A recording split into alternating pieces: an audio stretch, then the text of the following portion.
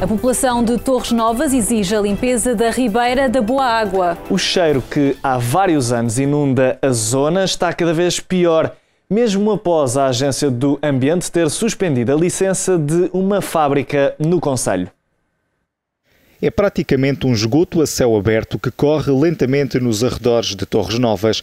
A Ribeira da Boa Água podia ser um companheiro ideal, mas o cheiro nauseabundo existente na maioria dos dias faz deste curso o pior dos vizinhos parece-nos que está pior, eh, porque o cheiro tem sido eh, permanente.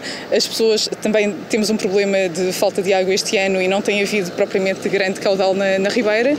E hum, tem havido descargas eh, permanentes nesta Ribeira da Boa Água e, também sabemos que as autoridades sabem o que, o que se passa, que a administração está alerta para, para esta situação. O que nós não conseguimos perceber é que reação é que está a haver para resolver eh, as questões que, que hipotecam a qualidade ambiental da Ribeira. Ana Ligeiro lembra que a associação já foi responsável na década de 80 pela limpeza do rio Almonda no centro de Torres Novas. Mas a poluição deste ribeiro pode agora ser um passo atrás na qualidade ambiental do Conselho.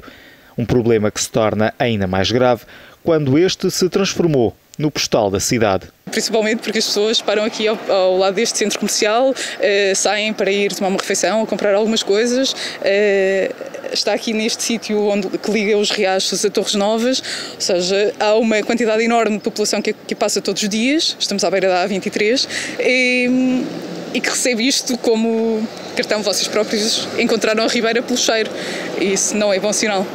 A luta dos moradores e da Associação de Defesa do Património vai continuar para devolver a qualidade à Ribeira da Boa Água, que há muitos anos, de boa, pouco ou nada tem.